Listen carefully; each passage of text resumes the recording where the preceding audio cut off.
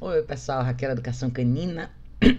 Desculpa, sejam bem-vindos ao episódio 123 do nosso programa de perguntas e respostas, onde a gente fala sobre novidades, é, trabalho, vida com cães. E eu aproveito para responder as perguntas de vocês. Eu ia fazer esse episódio ao vivo, mas é, com a dinâmica que eu tô agora com o Zico tá complicado. Fica muito tarde, provavelmente não vai dar pra gente ter o mesmo grau de engajamento. Mas vamos ver, hoje o Zico deu uma melhorada boa, assim considerando o último mês. Então, quem sabe esse final de semana eu consigo fazer uma live legal com vocês. Mas vamos lá. Eu quero começar o, o programa de hoje respondendo uma pergunta que está super atrasada, que a Natália até me cobrou. Pergunta que a Natália deixou aqui um tempo atrás. E a pergunta é a seguinte: ela falou: Bom dia, Raquel. Eu tenho um Rough Collie de sete meses. Comecei a treinar desde os dois meses, ele executa todos os comandos com facilidade, inclusive exercício do place todos os dias. Ele aprendeu o lugar certo do xixi nos primeiros dias e que chegou aqui em casa. Passeamos com ele todos os dias, o Jimmy é super dócil, educado e amável. Só que essa semana inteira ele começou a fazer xixi no lugar errado. Somente quando ele e minha mãe estão em casa. Quando eu chego do trabalho, ele volta fazendo no local correto. Ele realmente desaprendeu ou é um início de dominância e disputa com a minha mãe, já que ele só faz xixi no lugar errado somente na presença dela? Me ajuda. Natália, querida, vamos lá. Eu quis começar esse vídeo respondendo a sua pergunta, não só porque eu tô atrasada em responder sua pergunta, mas porque eu acho que o seu, a sua pergunta toca justamente numa questão importante, que é a questão de liderança e posicionamento. Ou seja, é o famoso. É, é a história da manutenção do que o cachorro já sabe, né? Muita gente às vezes tem essa dúvida, né? Muita gente já passou por um treinamento legal, às vezes a pessoa mesmo já treinou o cachorro ou já passou por um treinador. E uma vez que o cachorro já aprendeu tudo que ele precisava aprender, Existe a fase de manutenção e gerenciamento que é para o resto da vida, né? E eu vejo muitos casos como o seu, a situação acontecer do jeito que aconteceu com você, porque quando o cachorro convive com pessoas diferentes da casa e as pessoas têm um posicionamento diferente em relação ao cachorro, tá? Então acho que a, o ponto número um é o seguinte: a gente nunca pode esquecer que por mais que o cachorro tenha aprendido um padrão de comportamento, ele vai depender do ambiente, das instruções do ser humano no contexto para seguir se comportando dessa mesma forma. O que, que eu quero dizer com isso?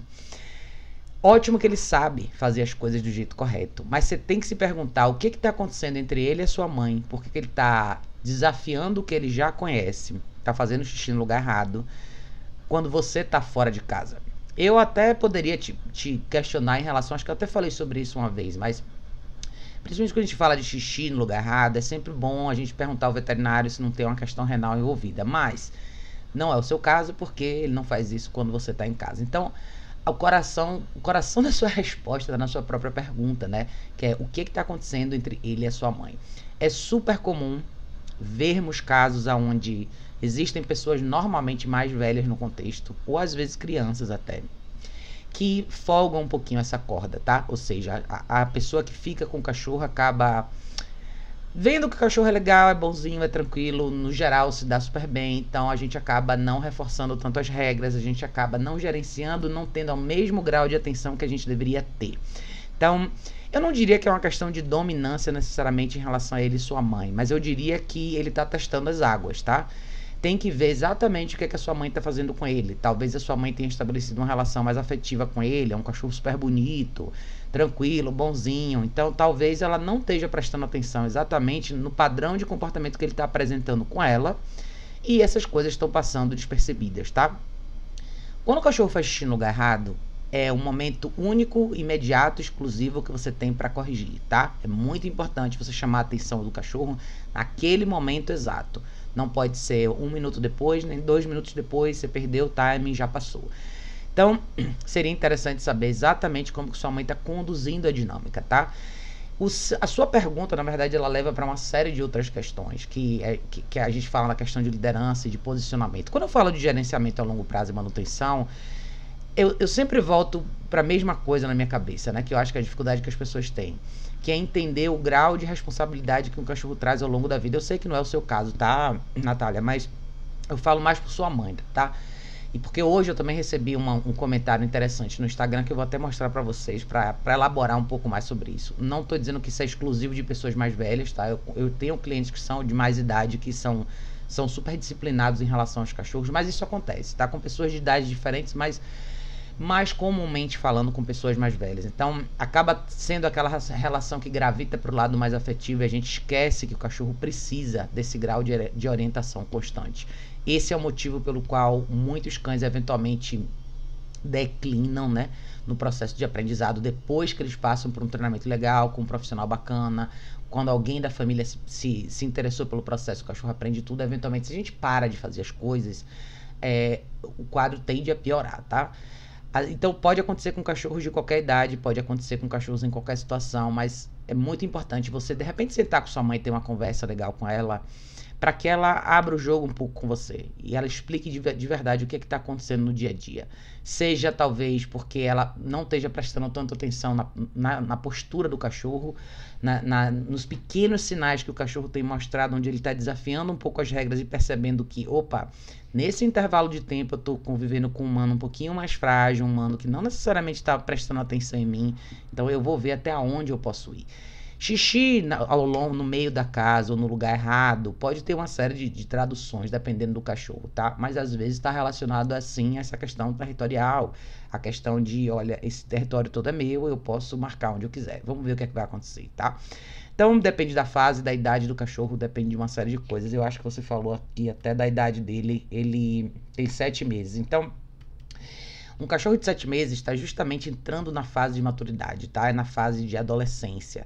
Então é justamente onde o cachorro desafia mais você. Eu sempre falo que os cachorros que tendem a ser mais problemáticos são os cachorros que estão justamente nessa fase entre seis meses, seis, sete meses, que é onde o seu tá, até três anos de idade. É aonde você vai enfrentar os maiores desafios. É aonde realmente você tem que estar tá presente e prestar atenção em tudo que o seu cachorro faz, tá? É quando eu falo de, do cachorro não ter liberdade sem supervisão, é quando eu falo da gente realmente estar tá mais atento. E é quando essa manutenção dá mais trabalho realmente pra gente. Então, se você quiser me dar um feedback em relação à personalidade da sua mãe, como é que sua mãe reage, como é que sua mãe é de forma geral, tá? Eu sempre digo que tem muito do ser humano na resposta dos cachorros, é, de forma geral. E quando a gente vive numa casa com múltiplos humanos, cada uma dessas pessoas tem um, um efeito, vamos dizer assim, no cachorro, né? E depende muito, esse peso é, é, ele é muito dividido de acordo com como cada um se comporta com o cachorro e o quanto de tempo cada um tem com o cachorro. Então, no seu caso, talvez você esteja um pouco em desvantagem, porque você sai para trabalhar e a sua mãe acaba ficando mais tempo com ele. Então, sua mãe acaba tendo um grau de influência maior. Então, ele é bem jovem, tá? Eu cães muito jovens assim, eu, Raquel, go não gosto de dar essa liberdade sem supervisão, tá? Eu sei que ele é um cole, um pelo muito longo, é, não sei em que região você tá, se faz muito calor, provavelmente faz, para cole, qualquer lugar faz muito calor. Então esses cachorros precisam estar num lugar fresco, mas a liberdade sem supervisão ela é um problema para muita gente, tá? Eu vejo, por isso que eu bato bastante com vocês aqui no uso da caixa de transporte. Eu sei que para cães que têm pelo longo, que sentem mais calor, é importante a gente pensar e fazer um planejamento em relação a isso. Ter um ar condicionado, ter um bom ventilador talvez, porque o cachorro sente muito calor. Mas a liberdade sem supervisão, ela é uma receita para o desastre, tá? Ela é aonde os cachorros, ela é o primeiro elemento, é a porta aberta que permite que os cachorros cometam tantos erros. Então talvez você esteja vivendo justamente esse início dessa fase de desafio, tá? Então, ótimo que você fez um bom treinamento com ele, ótimo que você conseguiu avançar bastante com ele nesses primeiros meses, mas você está entrando numa fase determinante agora. E a postura da sua mãe, que vai ficar mais tempo com ele, vai ser crucial nessa equação, tá? É muito importante que ela aprenda a existir, conviver com ele e assuma uma postura mais de liderança e menos emotiva nessa relação, tá? Quando eu falo isso, eu quero dizer o seguinte: quando eu faço meus vídeos, vocês vêm aqui em casa, meus cachorros estão sempre aqui comigo. Eu não eu, eu faço questão de estar com eles, eles fazem bastante parte da minha vida, mas eu não estou constantemente vivendo ao redor deles. Vivendo ao redor deles, que eu quero dizer é o seguinte: eu não constantemente baseio a minha relação em afeto, em contato físico. Contato físico por si só, tá, gente? Muitas vezes ele estimula demais o cachorro. Então, acho que um desafio que muita gente tem é estar no mesmo ambiente com o cachorro e não engajar com o cachorro. Isso é um, um discurso antigo meu, eu falo bastante sobre isso aqui. É poder sentar aqui e fazer um trabalho de uma, duas horas sem necessariamente estar mexendo no cachorro, tocando no cachorro, conversando com o cachorro. Então, essas coisas muitas vezes atrapalham, atrapalham bastante, especialmente para pessoas que têm cães mais agitados, que não é o seu caso, tá? Mas eu tô falando de forma geral, tá? Para todos vocês aí, prestem bastante atenção nisso, tá? Talvez mais importante do que qualquer treino é saber conviver com o cachorro. eu acho que muita gente tem esse problema. É a coisa do não saber estar na sala assistindo televisão sem estar necessariamente pegando no cachorro ou com o cachorro encostado em você. É estar no mesmo ambiente com o cachorro, é só isso, tá? Então isso para muita gente é um grande desafio e isso beneficia muitos cachorros. Isso é, isso talvez é a chave, né, da história da socialização de cães com pessoas. É o cachorro saber estar no ambiente com você. Então, ainda essa semana eu, eu atendi pela segunda vez um cachorro que tem um pouco dessa dificuldade. Ou ele gravita demais para a pessoa e quer proteger a pessoa e se torna possessivo, ou então ele, quando está distante, é um cachorro reativo a pessoas. Então, é quando o cachorro não aprende esse meio termo. É isso que fica muito difícil, entendeu? Não, de novo, não, não tô dizendo que é o seu caso, tá? Mas é uma coisa para se pensar. Então, talvez seja uma base para um bom diálogo que você possa ter com sua mãe daqui para frente, para entender direitinho o que, é que ela tá fazendo com ele. Eu falo isso porque às vezes é inconsciente, né? Às vezes a gente convive com o cachorro e tá sempre conversando com o cachorro. E isso é comum de pessoas mais velhas. Às vezes a pessoa fica em casa ao longo do dia sozinha com o cachorro e se vê o tempo inteiro conversando com o cachorro, que é natural. Nós, seres humanos, somos seres sociáveis, a gente gosta de conversar. E às vezes você não tem ninguém, você começa a ter um diálogo com o cachorro na sua cabeça e, bem ou mal, isso tem um efeito. Você estimula o cachorro de uma forma ou de outra, tá? Então, eu tô jogando aqui várias possibilidades, porque eu não sei exatamente os detalhes aí, mas fique à vontade para me dar um feedback, tá, querida? E desculpa mais uma vez a demora para te responder, mas que a dinâmica aqui tá mais do que desafiadora aqui com o Zico. Mas graças a Deus ele deu uma melhorada boa esses dias, tá? Vamos lá, eu vou, eu vou voltar aqui para os comentários. É, esses comentários são da semana passada. Mas a Bárbara tinha dito aqui. É, ela falou: Boa tarde, minha primeira cachorrinha Cocker faleceu por causas naturais há dois anos. Tem sido muito difícil, mas finalmente me sinto pronta para ter outro cachorro. Moro em apartamento, tamanho médio, perto da praia, trabalho, mas tenho familiares que ficam em casa. Pensei em um Akita por gostar de porte médio, é, médio grande, ter lido que eles são independentes, limpos e não precisarem e por não precisarem de muito espaço. Você concorda com essa descrição? Acredita que teria problemas por passar o dia fora? Amo muito cachorros para dar mais atenção a ele no final de semana para compensar a ausência. Obrigada e parabéns pelo seu trabalho. Bárbara, querida. Vamos lá. É, eu acho que algumas coisas a se considerar no seu caso, tá? Primeiro, um Akita eu não, eu não sugiro ele como um cachorro para uma pessoa que não é tão experiente. Você falou que você teve uma cachorra durante muitos anos, uma Cocker, e que ela faleceu e que foi difícil para você e tal. Mas assim, existe uma diferença grande entre talvez um, o cocker que você teve. Aqui tem um cachorro para uma pessoa que tem bem experiência, tá? Ele não é ele ele é um cachorro com personalidade independente até um certo ponto. Ele é um cachorro limpo. Agora, eu não sei se eu concordo com essa definição dele não precisar de muito espaço, tá? Você tá falando de um cachorro grande. A Kita não é um cachorro de porte médio, ele é um cachorro grande mesmo, tá? É, o problema não é necessariamente você morar em apartamento, mas o problema é você não ter tempo, tá? O Akita pode ser um cachorro que traz muitos desafios para você, tá? Ele pode ser um cachorro maravilhoso para quem tem bastante experiência. Por que, que eu falo isso? Porque ele é um cachorro de personalidade forte, como os cães asiáticos são, tá? Eles não têm essa, essa postura do cachorro ocidental, de brincalhão. Não é não que ele não tenha a habilidade de brincar, mas é um cachorro muito fechado no contexto de família, um cachorro mais reservado. Então, quando as pessoas falam de independente, é um pouco dessa o cachorro não tem essa questão de engajamento físico com pessoas estranhas, principalmente, tá? Pelo contrário. Então, na sua situação, minha sugestão não seria uma quita, tá? De verdade, não seria. Eu acho que você, inclusive, tem que pensar bem na decisão de ter ou não outro cachorro agora. Por quê? Porque você comentou que você teria mais tempo nos finais de semana. E, infelizmente, isso não é o ideal, tá? Para nenhum tipo de cachorro, para nenhuma raça. Vamos ser bem sinceros aqui. Você falou que tem gente na sua casa. Então, as pessoas, se as pessoas que estão na sua casa simplesmente estariam lá como companhia ou de repente poderiam, sei lá, limpar o lugar, dar comida, vai faltar bastante coisa para esse cachorro, tá? Vai faltar bastante coisa. Então, eu não, eu não vou nem te dar uma sugestão de, ah, você pode optar por raças menores, menos ativas. Até poderia, tá? Mas de novo, eu acho que você está num momento crucial de tomar uma decisão de trazer um novo cachorro para sua vida. Você passou um período longo aqui, você falou quantos anos? Você falou de. Por causa. A, a sua cachorra faleceu há dois anos. Então não sei quanto tempo ela viveu, mas.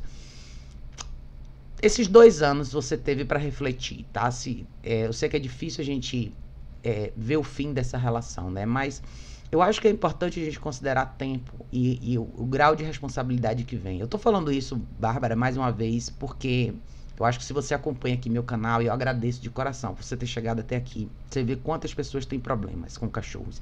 E muitos desses problemas estão diretamente relacionados à falta de tempo e possibilidade de se dedicar com mais intensidade à educação. E eu convivo a vida com cachorro, tá? É muito difícil, mas muito difícil você pegar um cachorro que você só tenha tempo para o final de semana e esperar bons resultados, tá? Mesmo com diversas pessoas em casa.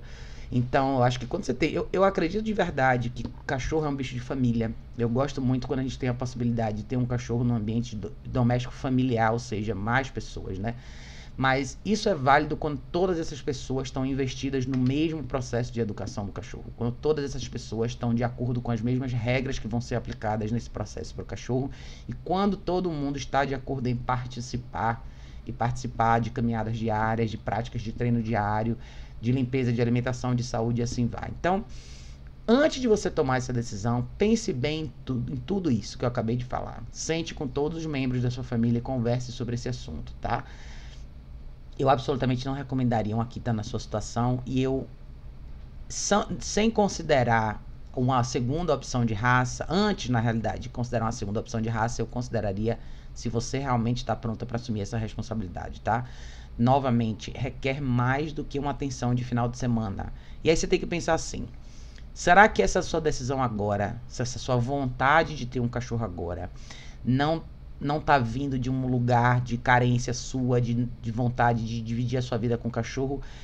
Não é mais por você nesse momento? Pense um pouquinho sobre isso. E eu não tô te desencorajando a ter um cachorro, eu tô só pedindo para você pensar e refletir no que vem pela frente, tá? É como eu falei mais cedo ter um cachorro agora, adquirir um cachorro agora, considerando a rotina que você tem, que você não vai ter tempo, você só vai ter tempo no final de semana, é quase que criar um cenário para você e o seu cachorro novo falharem, tá? E eu não quero isso para você, não quero isso para ninguém.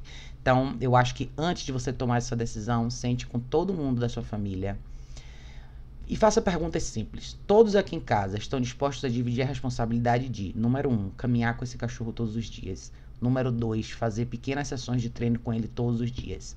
Número 3, alimentar e limpar o local todos os dias. Número 4, se manter firme nas regras de educação que a gente determinou todos os dias.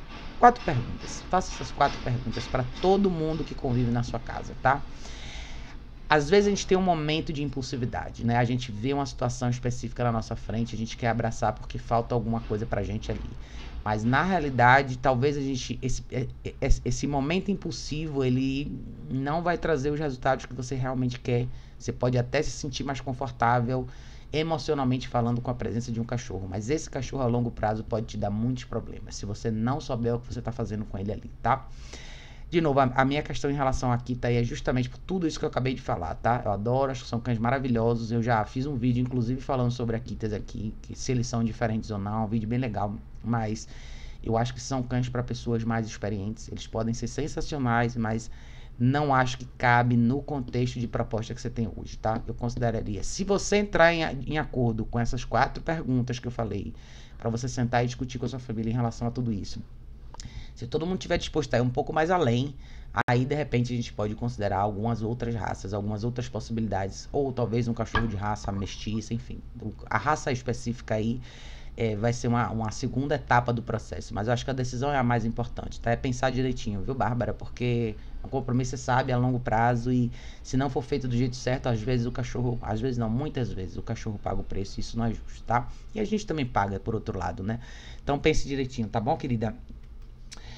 Vamos lá. É, eu tinha. eu tinha. Eu tinha. Tem tanta pergunta antiga aqui, gente. Um, é, aqui as, é, eu tinha respondido a pergunta dele, mas deixa eu ver as perguntas do pessoal aqui. Ah, a Ana tinha deixado uma pergunta que eu acho interessante a gente discutir aqui. A Ana falou: Moramos nos Estados Unidos, no Brasil tínhamos um Schnauzer, mas ele era muito inteligente. O daqui não é muito, late muito e o pet shop não quis tosá-lo porque ele quis morder a mulher. O que que eu faço? É muito caro para levar para adestrar. Também não temos muito tempo em casa com ele. Só à noite já estamos cansados para ensinar alguma coisa. Ele tem um ano. Ana, querida, eu acho que essa responder a sua pergunta agora, logo na sequência da pergunta da Bárbara, faz todo sentido, tá? Porque você está vivendo justamente o pós, né?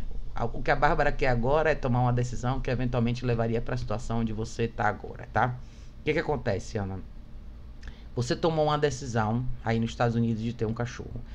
É, aí, eu já morei aí, eu sei como é que é. Todos os serviços para cães são muito mais caros. Então, não é uma coisa necessariamente acessível como é aqui pro, no Brasil pra gente. Não que seja necessariamente para todo mundo, mas é, é, nos Estados Unidos a diferença é muito maior. O que, que você está vivendo aí? Você está vivendo uma situação típica de uma família que tem um cachorro e não necessariamente, talvez, talvez vocês não tenham feito um bom planejamento em relação a isso, que é quanto tempo eu tenho para me dedicar a esse cachorro. Vocês trabalharam o dia inteiro, eu entendo, eu entendo que é cansativo, que a gente chega em casa exausto, mas a realidade é você ter um cachorro de um ano que já está apresentando problemas mais sérios, ou seja, é um cachorro que precisa dessa manutenção de tosa e banho e agora você não conseguiu fazer isso porque o profissional ele tentou morder a pessoa que faria o, faria o trabalho. Ou seja, você está numa situação que o problema tende a escalar, tá? E o seu cachorro é muito jovem para ter a rotina que ele tem. Vocês trabalharam o dia inteiro, chegaram em casa cansados, não terem tempo para trabalhar o cachorro, me diz que você está numa situação onde você precisa tomar uma decisão. Seja em assumir a responsabilidade do que vocês trouxeram para vocês e se você não pode investir num trabalho com um profissional, esse trabalho tem que ser feito por vocês, tá? Na realidade, vocês estariam sempre na equação, independente de qualquer coisa, mas essas coisas a gente precisa pensar com antecedência, né, Ana? De verdade, porque não existe uma resposta, não existe uma forma de você reverter esse quadro sem que você invista tempo e dinheiro nessa equação. Tempo no sentido de, eu sei que é puxado, mas é acordar mais cedo e caminhar com o cachorro é eventualmente contratar um passeador que possa vir na sua casa e pegar o cachorro ao longo do dia para fazer uma caminhada ou, ou, talvez até duas.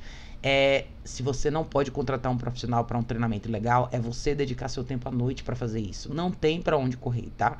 Tem situações que assim, a gente infelizmente se coloca em situações onde a longo prazo vão ser o sacrifício maior pra gente e é exatamente o que eu falei para Bárbara na pergunta anterior, tá? Vocês acabaram trazendo para vocês essa responsabilidade do cachorro e é por isso que eu foquei tanto nessa questão de pensar direitinho por que, que a gente pega o cachorro. Eu sei que a rotina é pesada, independente do país onde a gente mora.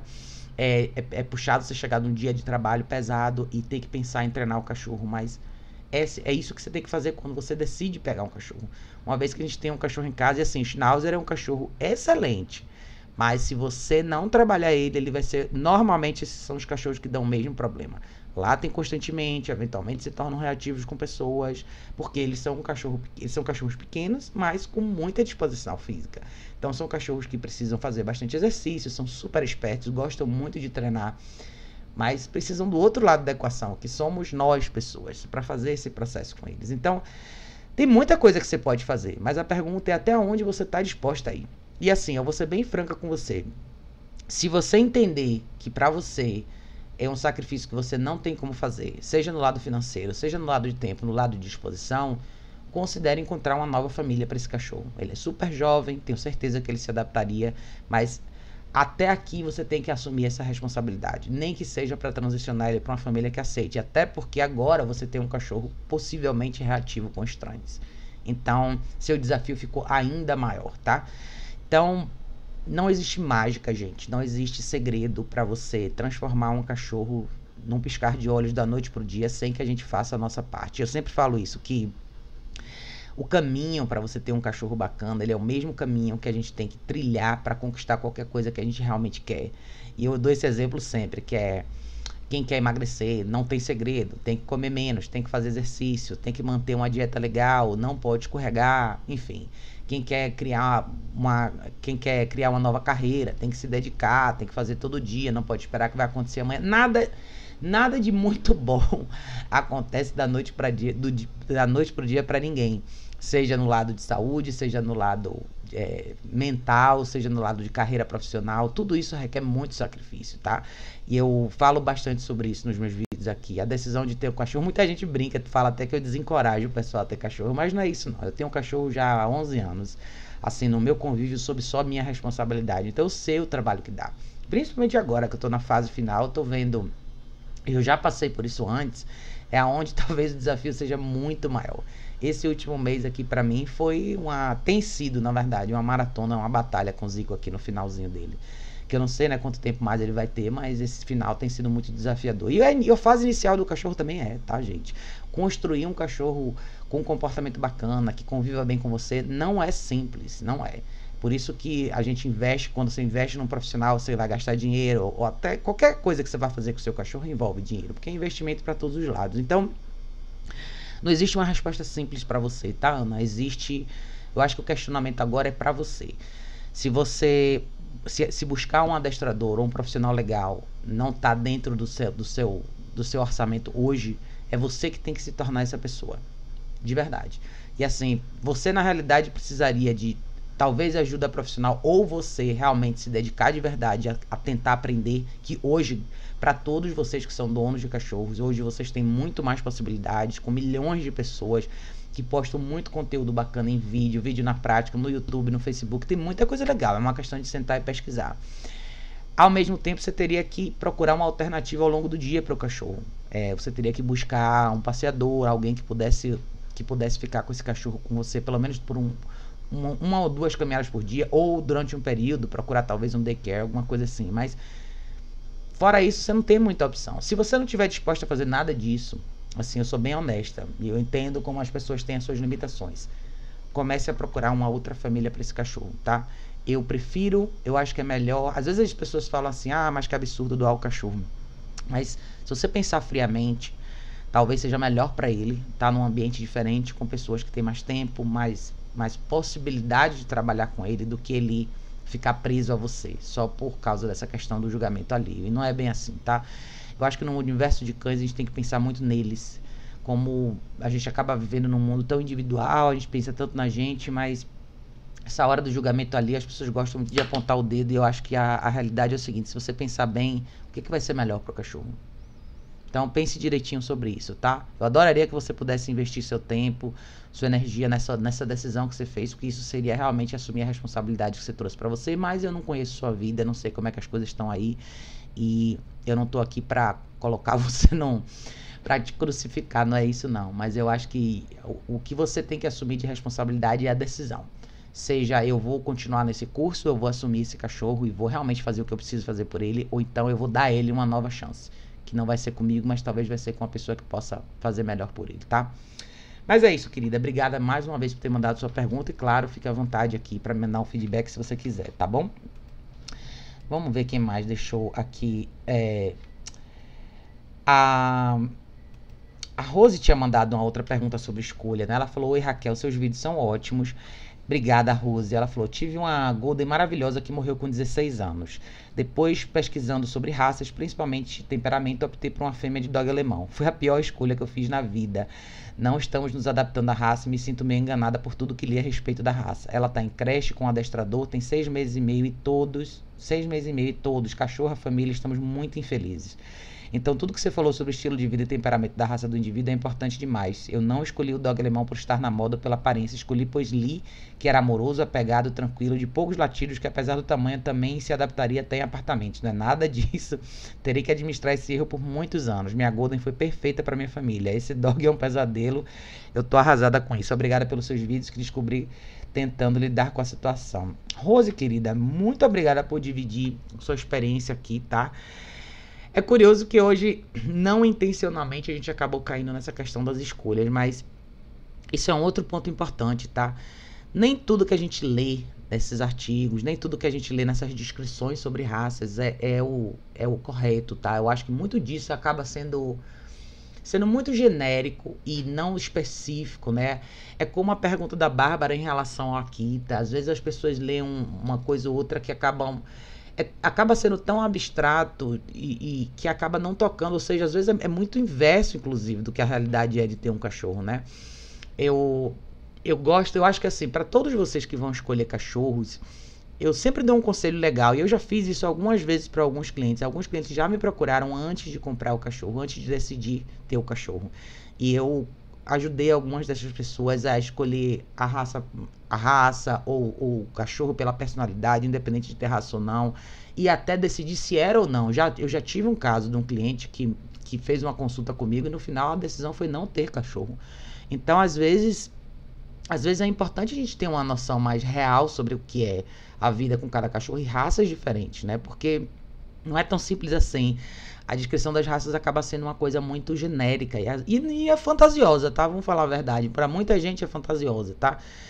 Como, como eu acho que às vezes essa até descrição, talvez que a Bárbara leu sobre a Akita também, e o que você leu sobre o dog alemão também é. Dog alemão não, é um cachorro que assim eu, é, é, muito complicado a gente decidir, mas assim, é um cachorro que precisa de mais espaço, a manutenção é enorme, é um cachorro que baba, é um cachorro que tende a, a. Muitos deles são bem seguros. Então tem uma série, mas assim, uma série de coisas a se considerar, tá? Então foi legal que você. Que pena que você viu o vídeo tarde, né? Que você chegou aqui um pouquinho mais tarde, mas. Mas é complicado, porque assim, eu acho que o seu caso é o típico caso de. que ilustra bem quando a decisão é errada como isso se torna frustrante para todas as partes, né? Que é o que você acabou de falar. No final, vocês estão, vocês tiveram uma relação longa com uma outra cachorra que era um encaixe melhor para vocês. Dessa vez, vocês acabaram estão numa relação nova que já está nesse grau de frustração com todo mundo, né? Mas olha, eu vou falar para você de verdade. Como eu falei na pergunta anterior. Você pode, eu não condeno ninguém por buscar uma nova alternativa para o cachorro, tá? De verdade, eu acho que cada pessoa tem uma vida, sabe até onde vai a sua possibilidade, a sua limitação, e eu acho que às vezes é melhor para o cachorro encontrar uma família que seja mais compatível com ele.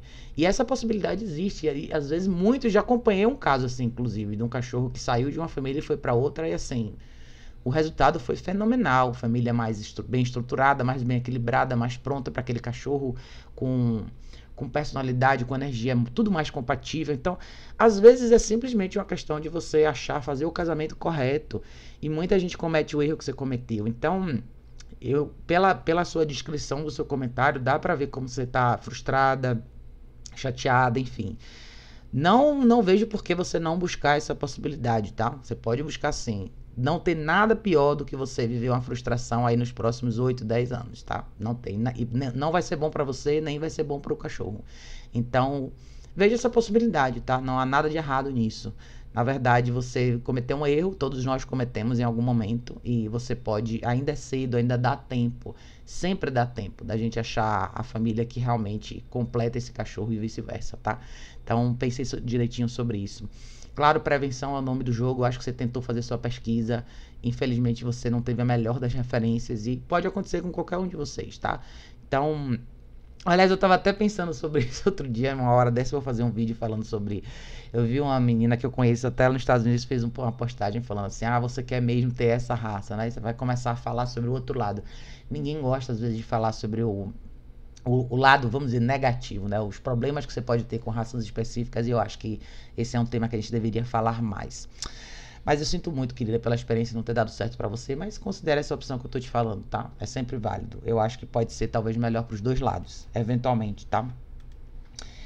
É... O Francisco tinha deixado uma pergunta aqui para mim: o que fazer quando o cachorro só quer, quer morder o tapete? Estou tentando treinar um pitbull de três meses assim. Francisco, é, você me deu muito pouca informação, mas assim, novamente, eu vou falar para você uma coisa que eu falei no início aqui sobre a questão dos cachorros jovens, né? Filhote de três meses não deve ter liberdade sem supervisão. Filhote de três meses deve ter uma caixa de transporte e a, a dinâmica dele deve ser dividida com muita supervisão entre tempo de descanso, engajamento de valor produtivo, que vai envolver pequenos treinos com a comida do dia, tá? Essa fase do filhote é uma fase excelente para você ensinar uma série de coisas, mas também é a fase que mais demanda, mais demanda da gente. Por isso que eu não recomendo filhote para quem trabalha o dia inteiro, para quem está fora mais tempo. filhote é um filhote é uma opção para quem tem mais tempo, bastante disposição, porque você vai ter que dedicar muito tempo para prevenir que esse filhote cometa esses erros. Então, você tem uma pitbull de três meses. Você tem que pensar se ela morde o tapete. Ela morde o tapete porque ela tem acesso ao tapete. O que, qual é a outra opção que você está dando para ela? Que tipo de engajamento, que tipo de proposta você está dando para essa cachorra fazer? Quem tem tempo e gosta, cara, treino com filhote pode ser super divertido. Não só com filhote, mas como qualquer cachorro adulto. Pode ser um tempo legal, pode ser uma terapia para a pessoa. Às vezes a gente nem vê isso, a gente acaba vendo mais como um, poxa, uma responsabilidade a mais. É, mas pode ser uma coisa muito divertida. É muito legal treinar cachorro. E com filhote você pode fazer isso. E o bom do filhote é que eles têm. eles têm pouco tempo de, de resistência, vamos dizer assim, na hora de captar a informação. Né? Então eles cansam com muita facilidade.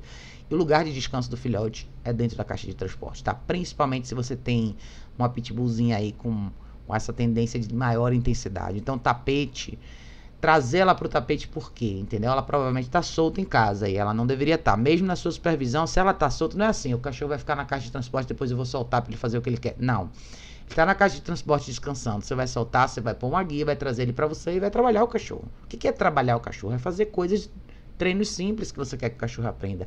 Uma porção de alimentação de um filhote dura 15 minutos se você fizer um bom treino ali.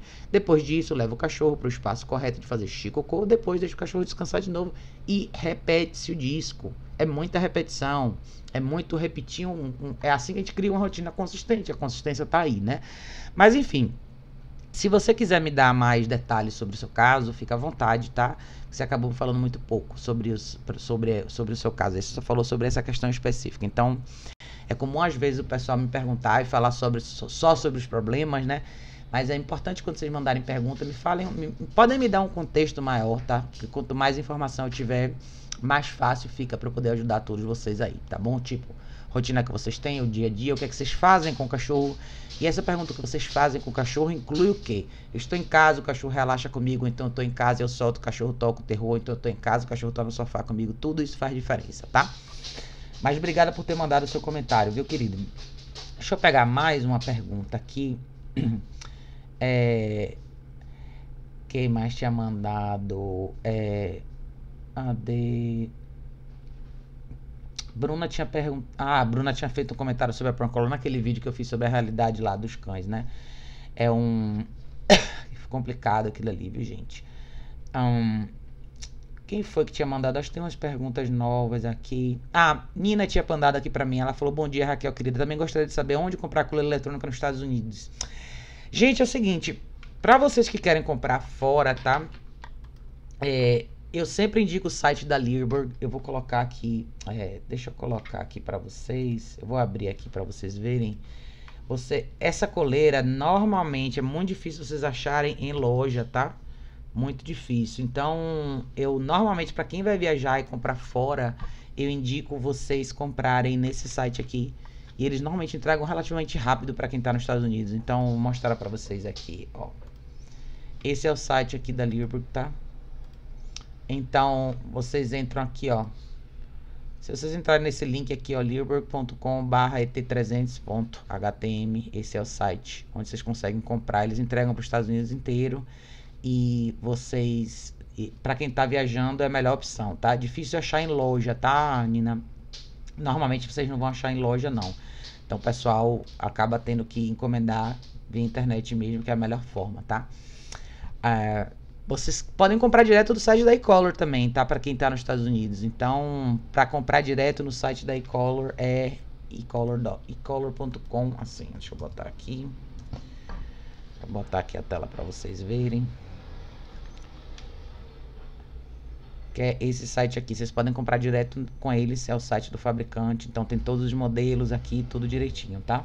Então é uma alternativa também para vocês que querem comprar estão de fora querem comprar lá, tá?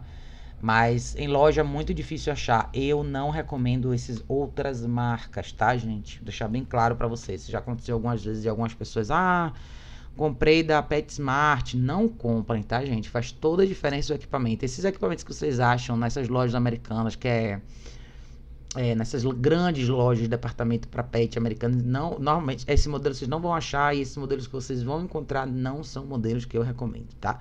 Então, quem vai viajar, minha recomendação é o seguinte: vocês vão viajar para fora, é, sabe o hotel que vai ficar, um amigo vai ficar, pega o endereço do hotel direitinho, já dois dias antes da viagem, faz a compra pela internet manda entregar no hotel. Não tem erro, tá?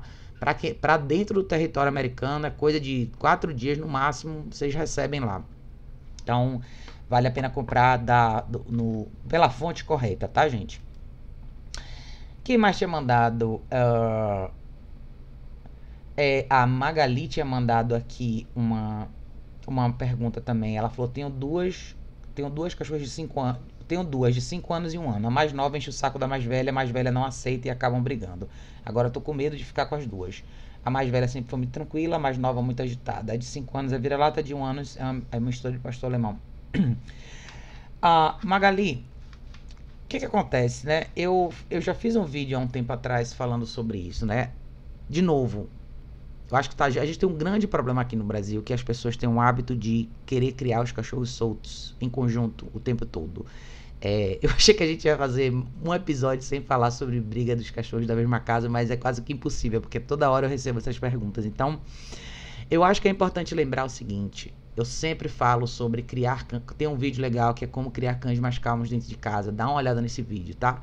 A coisa do ter um cachorro mais novo que enche o saco do cachorro mais velho, eu já falei muito sobre isso, principalmente quando eu falo sobre filhotes, tá? As pessoas que têm um cachorro mais velho e trazem um filhote para dentro de casa cometem o erro fatal de colocar os dois juntos e deixar os dois cachorros conviverem juntos o dia inteiro. Isso não vale só para filhotes, isso vale para cães de energias diferentes, de personalidades, de intensidades diferentes. Tá? Isso é muito comum, eu vejo isso direto e muitos dos casos de, de cães da mesma casa que brigam começam assim. Começam por quê? Porque infelizmente a gente acaba delegando para o cachorro mais velho a responsabilidade do cachorro mais novo. Muito disso começa com a ideia de que eu vou ter um segundo cachorro porque eu, vai ser companhia para o meu primeiro cachorro. Eu vou ter um segundo cachorro porque eles vão ficar juntos, porque eles vão brincar. E eu não sei necessariamente se é o seu caso, tá, Magali? Mas eu estou já generalizando aqui para a opinião de todo mundo. É um erro, tá? Criar um segundo cachorro é dois, é dois trabalhos. Eu sempre falo isso, por isso que quando eu fiz um vídeo falando tem uma matilha para você, eu toquei sobre esse assunto toquei nesse assunto. Quando você traz um segundo cachorro, a responsabilidade do segundo cachorro é sua. Por isso que eu advogo tanto pelo uso da caixa de transporte para casas com múltiplos cães, e especialmente é você poder prover um espaço seguro para cada cachorro. É você poder proporcionar um momento de tranquilidade para aquele cachorro que é mais tranquilo, para aquele cachorro mais agitado aprender a ser um cachorro mais calmo também. Isso envolve estilo de vida, envolve treino e uma rotina bacana bem estruturada, tá? Eu acho que muita gente tem uma expectativa de, de ter dois ou três cachorros vivendo junto bem na mesma casa, sem necessariamente ter que fazer nada. Eu acho que aos poucos a gente tem se tirado da equação. E a gente tem é, se absolvido da responsabilidade de, de, de verdade educar os cachorros. Não é tão simples quanto parece viver com um cachorro. Não, não para ter um resultado legal, não é. Eu vejo inúmeros, inúmeros, inúmeros relatos de pessoas que têm problemas graves em grupo quando você vai investigar, você descobre que existe uma, existe uma influência muito pequena. Na realidade, assim, a participação do ser humano na equação acaba sendo muito pouca, tá? Então, quando vocês chamam um profissional para trabalhar com vocês, seja virtual ou seja presencial, o papel do profissional é instruir vocês ao que fazer com esses cachorros. A longo prazo é o que vocês têm que fazer até o último dia do cachorro. Então, não dá para esperar que os cachorros vão ficar juntos e tudo vai dar certo, tá? Então, eu não sei o seu contexto geral, o que eu posso te dizer é: dois cachorros não podem ficar juntos sem supervisão. Meus cachorros não ficam juntos sem supervisão. E meus cachorros vivem juntos há quase uma década. Então, todo mundo aqui, quando eu não estou presente, cada uma das cachorras está na sua caixa de transporte. Eu faço isso até hoje. E eu tenho total, absoluta certeza que meus cachorros não brigariam. Mas ainda assim eu faço isso. Não é só para evitar brigas, é para promover um estado mental mais calmo. Quando eu falo para vocês separarem os cachorros, não é porque todos os cachorros são, são um risco de briga. No seu caso é. Mas a gente precisa aprender a, a, a proporcionar para o cachorro momentos de descanso, tá? O segundo, o terceiro cachorro é sempre um estímulo. Permita que o cachorro descanse. É por isso que muita gente tem problema e fala que o cachorro é agitado demais, que é, que é, que é intenso demais. Você não permite, às vezes, que o cachorro relaxe. Se seus cachorros são maiores, quem tem cachorros grandes, maiores e mora em casa, pode construir um canil legal, bacana, bem estruturado, bonitinho, mas no geral eu gosto da caixa de transporte, tá? Mesmo para cachorros grandes. É que a caixa de transporte para um cachorro grande vai custar mais caro, mas eu ainda acho que é a melhor alternativa, tá? De novo, gente, eu falo isso em todos os vídeos, eu pareço até um disco arranhado, mas vocês estão vendo aqui a quantidade, quantidade de vezes que essas perguntas surgem. Então, tá na hora da gente pensar em participar de verdade da vida dos cachorros, do lado educacional. Não é só a emoção, não é só a gente ter o cachorro porque de repente está faltando alguma coisa na nossa vida pessoal, ou porque o nosso coração precisa dessa, de, de, dessa sensação que o cachorro nos traz. Cachorro dá trabalho sim, tá? Dá trabalho, exige tempo, dedicação, sacrifício, mas essa é a opção que a gente faz quando a gente tem cachorro, tá? Então não dá para esperar que as coisas vão acontecer e vão dar certo como um milagre, não. Tem que participar, tem que ser, tem que ser forte, tem que ser líder, tem que treinar, tem que caminhar, tem que fazer tudo que o cachorro precisa fazer. Isso demanda tempo, tempo e energia. Se a gente não tem, é a hora de pensar em ter ou não ter um cachorro, tá? Então, é Magali, né? Que você, que você chama, deixa eu ver de novo o seu nome. É, Magali, querida, é, fique à vontade para me dar mais detalhes sobre o seu caso se você quiser. Não permita que essas cachorras fiquem juntas sem supervisão. E com supervisão é com direção. Então, não é só, ah, eu deixei elas separadas, agora eu vou botar elas juntas e eu vou ficar aqui tomando café e vendo televisão. Não. É dizer para cada uma o que cada uma tem que fazer. É por isso que eu falo bastante sobre a gente trabalhar o exercício do place, o treinamento passivo, é o cachorro saber relaxar, é você instruir o cachorro como caminhar com você, é você instruir o cachorro como voltar para você. Tudo isso faz parte de uma esfera de, de obediência que você pode colocar em prática na vida real com o seu cachorro, tá? E essa prática tem que acontecer todos os dias. É assim que você vai ter bons cachorros, cachorros que vão saber conviver bem, tá? A gente tem que pensar até onde a gente está disposto a ir com os cachorros, porque se a gente não tá, pense direitinho se vale ou não vale a pena ter cachorro, tá? Eu falo isso pelo bem-estar de vocês, pessoas, e dos cachorros que estão envolvidos nesse contexto, tá? Quem não sabe por onde começar, chame ajuda profissional. Mesmo que seja por uma consulta por Skype, alguma coisa que dê para debater e discutir um pouco mais a questão de cada um de vocês com os cães aí de vocês, tá bom? Mas é isso, pessoal. Não vou alongar muito, não. É, quis passar por aqui para responder algumas das perguntas de vocês, dar um feedbackzinho legal para vocês. Mas é, eu vou tentar ver se a gente faz uma live esse final de semana. Não vou prometer, não, porque vai tudo depender da situação do Zico aqui. Mas se der, eu venho pra gente fazer uma live legal e bater um papo, a gente interagir um pouquinho mais, tá bom, pessoal? Mais uma vez, obrigado a todos vocês que têm acompanhado aqui o canal. É sempre um prazer voltar e falar e responder e saber um pouco mais da, da dinâmica de vocês com seus cães aí, tá bom? Beijo enorme. A gente se vê em breve no próximo vídeo.